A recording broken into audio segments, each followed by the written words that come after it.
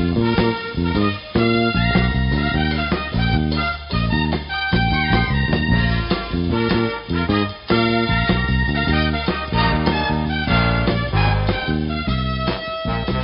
morning, Bucknutters, and happy June. It is June 1st, 2017. I am Dan Rubin. This is the Bucknuts Morning Five and Change. It's still Thursday, so that means Steve Wiltfong, Director of Recruiting for 24-7 Sports. For the first time in several weeks, he is by himself. Steve, how goes it being the father of two? Good morning, Daniel. Going great, as you know. Uh, the life is good and uh, excited to uh, have a family of four. Uh, but life is also good for Ohio State recruiting, as it is every week when we talk on this show. Yeah, there are some weeks in the off season where I say to myself, "Man, what are we going to talk about next week?" And it never fails. These guys are recruiting like gangbusters. As I was writing down the names today, it's just it's staggering. I'm out of superlatives. I hope everyone's enjoying this run. Um, there are many, many, many, many elite programs in college football that have never, ever, ever recruited this level. So let's dig in. With the chronological vibe to start here, Teradja Mitchell, the standout linebacker out of the Virginia Beach area, is committing tomorrow. He is down to Ohio State and Florida State. I will admit I fall into the last visit to Tallahassee. Momentum slowed at Ohio State approach, thinking Mitchell is going to be a Seminole. What say you? It does sound like things are getting kind of interesting down the stretch here.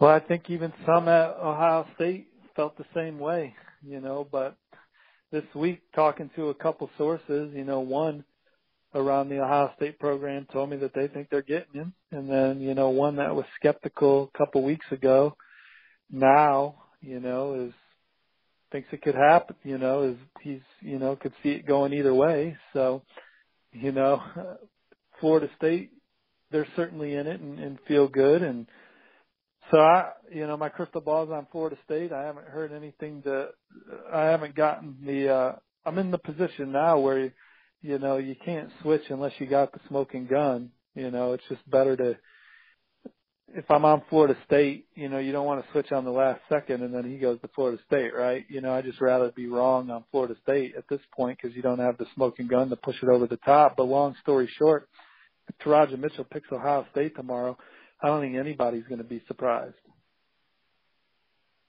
I am, but we can go from there. Um, Ohio State wasn't I, think this... a month ago or so, you know. I know it. Yeah. But the vibes, you know, the vibes. Florida State was considered the longtime favorite here. Florida State was con- considered the longtime favorite here. Then another school, you know, had mentioned that they thought it was a, you know, thought it was Ohio State, and then another school thought it was Ohio State, and then you ask Ohio State, and they feel good, but then the, the visit to Florida State, you know, changed the pulse for a second, you know, again. But for most of this, yeah, most of this, people thought Teradja was going to Florida State, and, and so Ohio State you know, really, you know, came on strong here and and and and made Teradja at the very least think very hard about being a Buckeye if he doesn't become one altogether. That commitment is tomorrow. We will have total coverage. Obviously, it's something you need to tune in on. Another big one this week, and a name that um, let's just say I have a negative vibe on Mitchell this whole time. I've had a similarly positive vibe on Texas defensive back Anthony Cook. To me, if you were a defensive back in the United States right now and Ohio State offers you, you should take the offer. You just crystal balled him. Give me the vibe on Cook. Well, I talked to a source that's close to Cook in Texas yesterday, and he told me, yeah, I mean, you saw what I wrote. I came out of it thinking it was Ohio State, and I think it's clearly Ohio State. You know, I think Texas would be the threat and I'm not sure how big a threat they are with how good a job Ohio State has done recruiting Anthony with Kerry Coombs and Coach Schiano and, and Coach Meyer and company. Uh, they've really made Anthony feel uh, he is the number one corner, but I don't think a program in the country has made Anthony feel like he's number one more so than Ohio State. And I think that has resonated with the quiet but confident player. My source compared him to, to Okudah from a personality standpoint. The two obviously uh, get along real well um, too. So, and then my then my uh, source, you know, added on and said, you know, Anthony's the type of young man that's going to do his own thing, and Texas is going to slay it in state. But he's not going to be a, what I took from that. He's not going to be a guy that goes to Texas because all the other guys are going to Texas. I think if he ultimately goes to Texas, it would be because Texas's staff did a good job of convincing him that his future is best in Austin, not because of who he's going to be playing with, but because of him personally. So right now, Ohio State's done a really great job of connecting with Anthony and the people around him that they've built such an advantage that I, I just love where the Buckeyes sit for Anthony Cook. Yeah, and then you throw in, to me, what is just the haymaker aspect of it and that's the guys being picked in the draft the last few years. Sure. And you can sure. literally you can literally write to him, look, straight line to the bank. And um so that's one. And Ohio State and Ohio State typically recruits a touted guy, but some of those some of those cats that Ohio State sent to the league, they weren't the the guys that were ranked one or two or three at their position you know, they, those were guys that went to Columbus and got developed into the the high ranking draft pick. No question. Um, I guess Eli Apple is kind of the prototype, but but, but I think you're right. I don't top think 100 or or some of those other guys, and no one's been rated the where Cook is. So that's beautiful. Right. Speaking of the top ranked player at his position, and we call it the Bucknuts Morning Five. It should be called the Zamir White Morning Five until he commits to the Buckeyes. What's the latest? I, I think you know, talking to sources around Ohio State about Zamir in the last week, I, I, he continues to be extremely positive with the Ohio State staff. And there's several people that think that Zamir wants to go to Ohio State, and and that his mom, you know, would like to see him go to Georgia. And if you follow the visits, it still looks like Georgia. And and if you want, he's announcing on his mom's birthday in June. If his mom you you just if mom wants one thing and you want another and you're announcing on her birthday, uh, you know that's the thing I can't get around. But there's no question he really likes Ohio State. He's been there three times. He continues to be very positive with the staff. I think there's some confidence around the Woody that they can get him. And then Ohio State is not. They've really kind of locked in on Zamir. They have Brian committed, Brian Snead, of course, who's also one of America's top running backs. They have him committed, but they haven't really they have some feelers out to some other guys, but they haven't really pushed for other guys yet, which you know makes me think that at Ohio State there's some confidence that they can get him before they go after some other guys that would then maybe beat Zamir to the punch. And then what do you do? Take three backs because you're not turning Zamir away, right? so, so that's kind of where Zamir's at right now. He's he's been outstanding with his communication with with Ohio State and, and same with Georgia. So you know we'll see what happens. Yeah, this is to me is the true fitty fitty because I, I get the mom vibe totally, and that usually trumps it.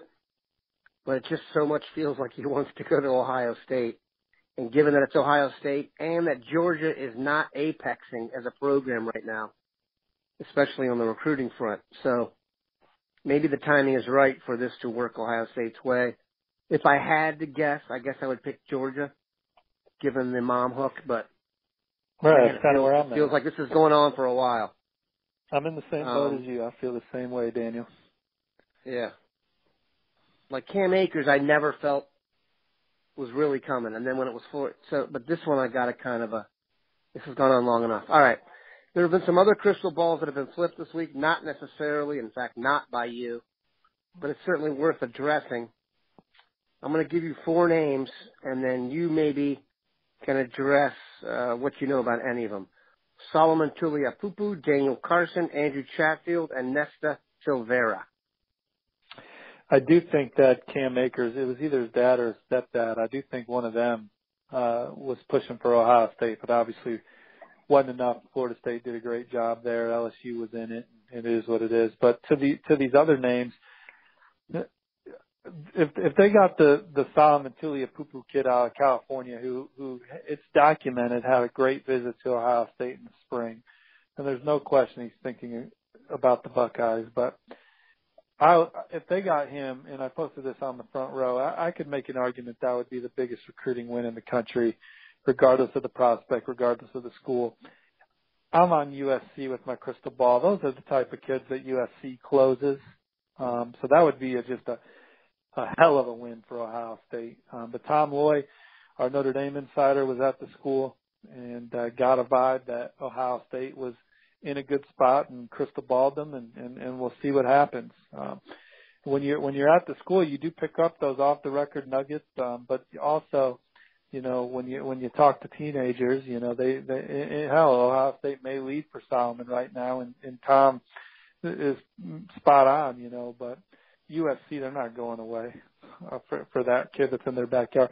It, it may even be a similar situation with Jackson Carman and Clemson, you know, where Clemson leads, but he lives an hour from Ohio State, you know, an hour and a half from Ohio State. The Buckeyes aren't going away.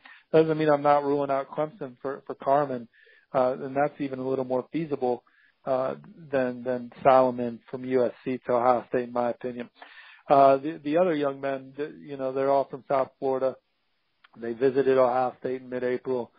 Um, they, they, you know, there's no question Ohio State resonated. It's e- it'd be easy to crystal ball all these guys to, to Ohio State. You know, for me, I'm I'm interested to see how the board shakes out. And, and sometimes, you know, the Buckeyes have a guy higher on their board than than we thought or knew. You know, and and for instance, the the Petit Frere kid, the offensive tackle from from Tampa that I wrote about earlier in the week. I didn't realize he was a coveted target for for Ohio State, and, and didn't realize Ohio State was in the top three until earlier this week. So stuff just just pops up like that. And, and Nicholas Petit Frere, you know, he, he's a young man. Uh, Greg Schiano's leading the way on that recruitment. His, Schiano's son went to that high school, so he's got some inroads there as they battle Florida and, and Notre Dame, and, and then potentially Alabama for him. Um, the the the Daniel Carson kid out of Missouri he's got that great frame and, and body, so I could see it, but I haven't. I I myself have not had much dialogue with with Ohio State uh, sources uh, about where those guys are at on the board, but but Carson is a guy that I know is looking at Nebraska, looking at Oklahoma, looking at Mizzou, and then looking at Ohio State, and, and so I would say those four are in a great spot uh, for him. Yeah, it does look like whatever happens, it's going to be another epic class. If they get Cook and Zamir White, to me, it's then we're almost to gravy points. This, I will say this: the guy of the group I mentioned that jumped out to me is Nesta Silvera, committed to Miami. First of all, his middle name is his name is Nesta, which is Bob Marley's middle name, which is a good start. And then he looks like a werewolf inside, and you can never have too many of those guys. So we will see. We appreciate Steve stopping by. It's another star-studded list. And uh, by this time next week, who else will be in the mix? We'll let you know. Have a good one, Bucknutters. Gentlemen, take care. Thanks, Daniel.